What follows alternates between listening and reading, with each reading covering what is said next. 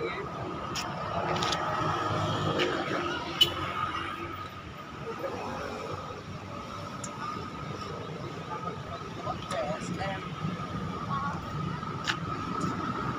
kan bapak. Itu dia kenapa capek gitu.